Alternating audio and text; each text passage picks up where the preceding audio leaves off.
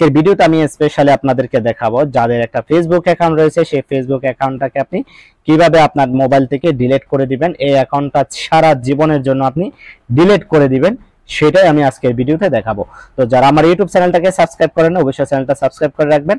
আর যারা আমার টিকটক আইডিটা ফলো দেন না, অবশ্যই টিকটক আইডিটা ফলো দিয়ে রাখবেন, যেন এরকম আরও নতুন নতুন টিপস আপনি পেতে পারেন। ওকে আপনার ফেসবুক অ্যাকাউন্ট আপনি লগ করে এখানে চলে আসবেন। তারপর উপরে দেখতে পাচ্ছেন থ্রি ডট একটা মেনু বার রয়েছে।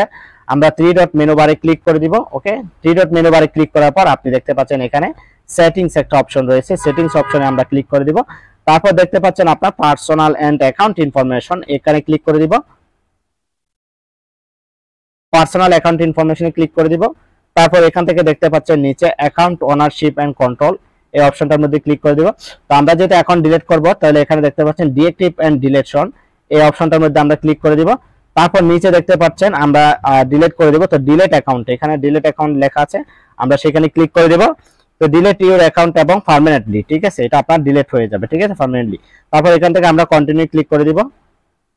তো কন্টিনিউ ক্লিক করার পর এখানে দেখতে পাচ্ছেন continue continue to account delete okay ঠিক আছে? আপনি কিন্তু এইখানে একবার ক্লিক করে দিবেন। এখানে ক্লিক করার পরে কিন্তু দেখতে পাচ্ছেন, আপনার অ্যাকাউন্টটা কিন্তু ডিলেট হয়ে যাবে। এখানে নিচে ডিলেট অপশন লেখা আছে, আপনি সেখানে ক্লিক করে দিবেন ওকে ক্লিক করার পর পাসওয়ার্ডটা এখানে দিবেন।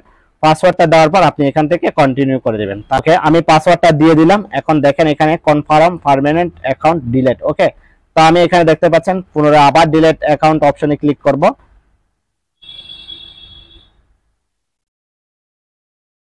ওকে আমার অ্যাকাউন্টটা কিন্তু ডিলেট হয়ে যাবে। তবে এই অ্যাকাউন্টের মধ্যে আপনি 30 দিনের মধ্যে আপনি কোনো প্রকার এখানে লগ করবেন না। যদি 30 দিনের মধ্যে আপনি লগ করেন, তাহলে আপনার অ্যাকাউন্টটা ডিলেট হবে না, ঠিক আছে?